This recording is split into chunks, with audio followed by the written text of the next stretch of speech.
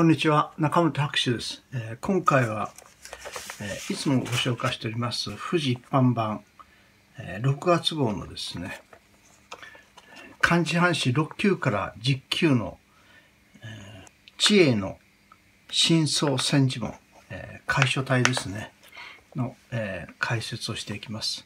えこちらに知恵のですね、現時、安情、言葉には責任を持ち明瞭に伝えるっていう意味ですね。現時、えこちら右側にいつもの通り、え会長の李城先生が記号された参考手本ございます。えいつも紹介しますけど皆さんはですねこの開祖のこちらの知恵の直筆のお手本を見ながら勉強していきましょう。まず原点ですけども、えーこの点角はですね、この点角見るとこうたちょうど綺麗筆の形してこういうふうに見えますけど、こういう手の打ち方しないで、こう、1、2、3。こういう中にね、もう一回いきます。こうじゃないんですね。こういう点じゃなくて、1、2、3筆を立てる。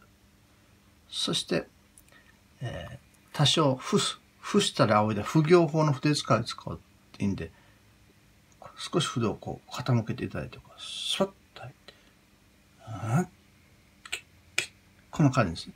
ここのこの鋭い線、スパッと入れて、こういうふうな、こういう、こういう線じゃないんですね。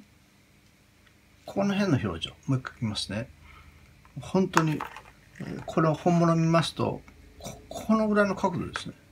このぐらいの角度で入って、で、ここでこう筆を、キュッキュッと筆を S にするようについて、で、筆を、こうついて筆を起こして、戻しながら筆を持ち上げる。こういうイメージですね。よくここも同じなんです。この筆使いですね。では、ちょっと原点字を書いてみますね。1、2、3。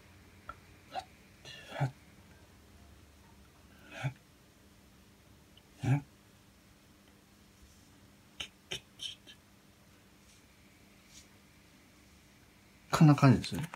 そして、少しですね、この中心で見たときに、こっちらのがこう、広くなって、こっちらが少し狭い。こんな構造になっているところもご覧になってください。多少、口はですね、ちょっとここを出して、こう、これ右 hand リズムを作るのに、あんまりこう、お手本もそのように見えますけど、こうして、こうして、こう綺麗にこう、ここを綺麗に揃えると、あんまりよろしくないですね。軽い右 hand のリズムを作るために、こう、少しここ、ここのぐらいの気持ちで書いてください。これは弦ですね。はい、次いきますね。